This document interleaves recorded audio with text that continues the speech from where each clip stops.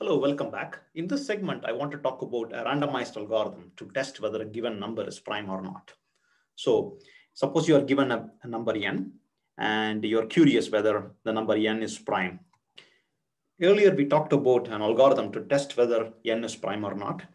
Um, that was more of a deterministic algorithm, uh, but the complexity was uh, very um, large, meaning um, it was about um, the square root of uh, n complexity, okay, which is not that good. Uh, if n is a, a, very, very large number, say n is 2 power uh, 2048, then square root of n is uh, about 2 power 1024, which is a large number, okay.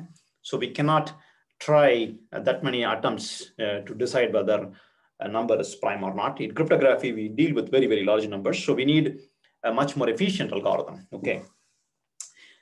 Indeed, there was a, a recent breakthrough. Uh, when I say recent, it was like 15 years ago, almost. Um, there was a polynomial time algorithm to test whether a number is prime or not.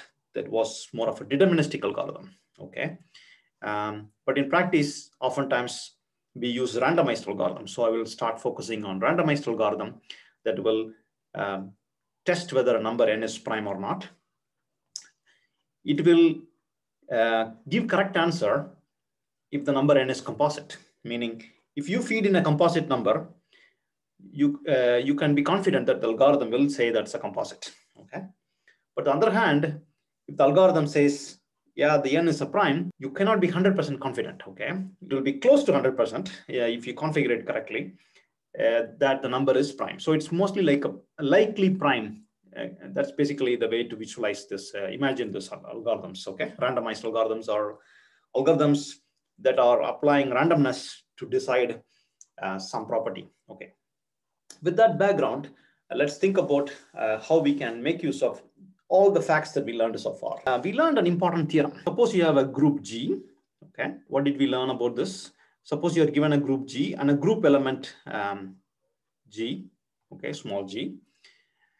Uh, we learned that G power, the order of the group is one. We learned this and we also proved it earlier. Suppose now we instantiate this for scenario where the number of elements in the group is uh, just one below a prime number. For example, um, the group G to be say Z star 13. Okay, we know 13 is a prime number, right? Uh, what can we say about the theorem here? Uh, we can say this that um, let me go here and plug it. If we take any element G in this group Z star 13, Z power 12 will be one, okay?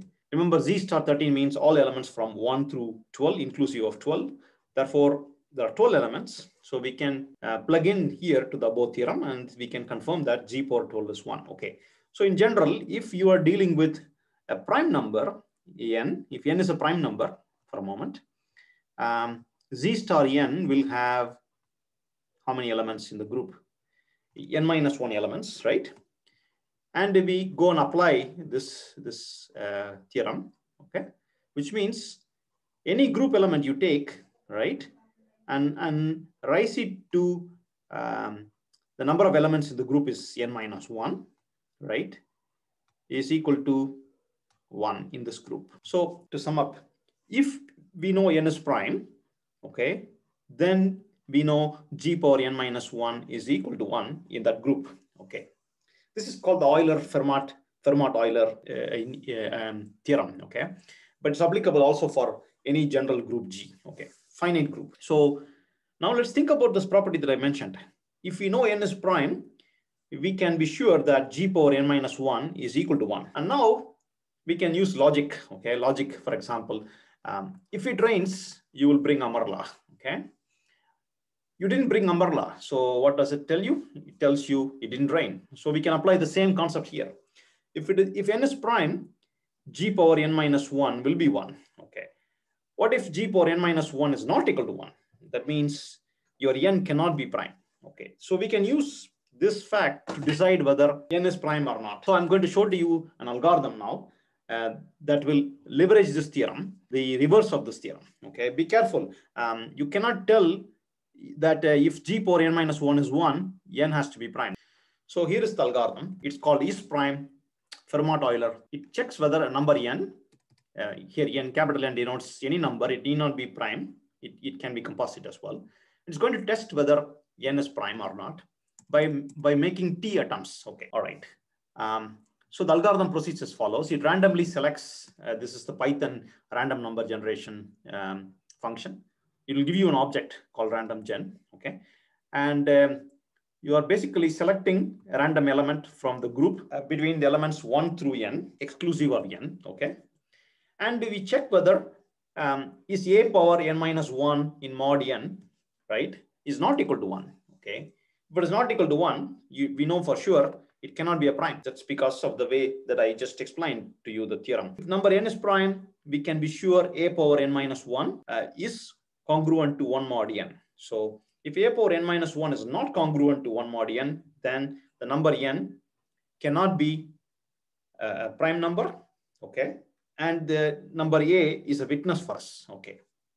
All right, suppose let's assume um, this is false. In that case, we, we don't know, meaning if this value is one, we don't know yet. So we continue uh, t times. After that, we give up and then say, yeah, the number is likely to be a prime because we didn't find a witness that will satisfy um, this, this property. Okay. All right. That's basically the idea of Fermat-Euler theorem. From numutils, I will import uh, things we need. Suppose we, we know, for example, 77 is a composite number 11 into 7 77 say we try 10 times okay 10 attempts i'll explain to you how do you know how many attempts to try but i will explain that later but at this point just just take it easy okay. So obviously the program say it's false because 77 is a composite number. Let's try 7 7 is a, a prime number so it says true okay. Let's try something bigger okay. I'm going to uh, take a, a large number from RSA uh, numbers online uh, from the RSA Wikipedia, for example, and um, I'm going to try a very large number. Okay, I'll just start from RSA of um, 330 bits, okay, just to start with.